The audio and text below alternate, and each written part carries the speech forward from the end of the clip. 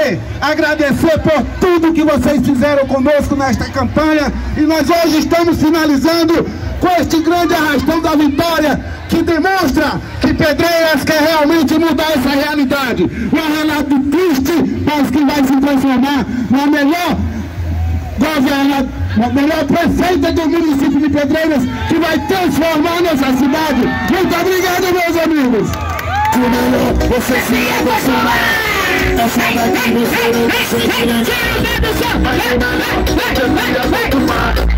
Essa daqui você não consegue levar